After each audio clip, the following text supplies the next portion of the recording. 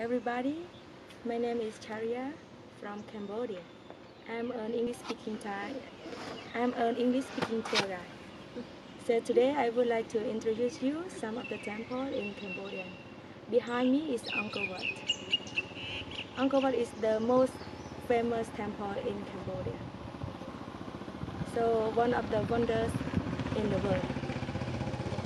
We together would like to produce the video about the traveling, especially the most famous temple in Cambodia.